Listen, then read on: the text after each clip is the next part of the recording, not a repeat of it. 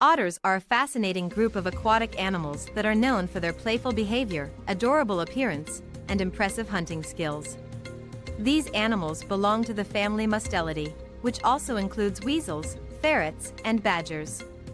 There are 13 species of otters that can be found all over the world, in both freshwater and saltwater environments.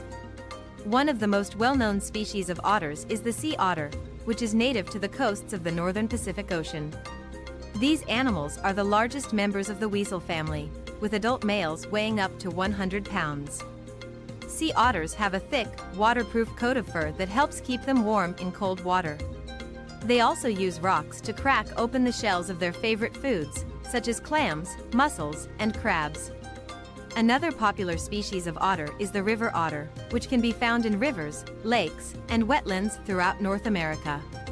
River otters are excellent swimmers and can hold their breath for up to 8 minutes while diving underwater. They have a streamlined body shape and webbed feet that make them incredibly agile in the water.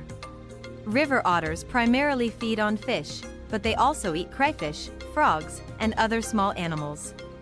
In addition to sea and river otters, there are several other species of otters that have unique adaptations for their environments.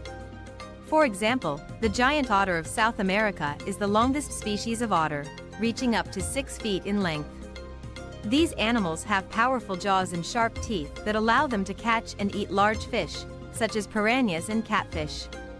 The small-clawed otter of Southeast Asia is the smallest species of otter, weighing only 2 to 3 pounds.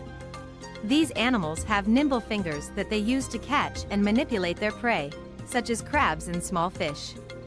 Small-clawed otters are also known for their vocalizations, which include a variety of chirps, whistles, and purrs.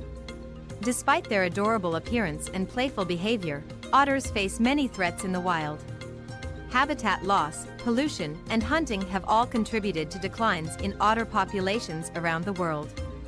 However, conservation efforts have helped some species of otters rebound in recent years, and these animals continue to capture the hearts of people around the world with their unique behaviors and charming personalities.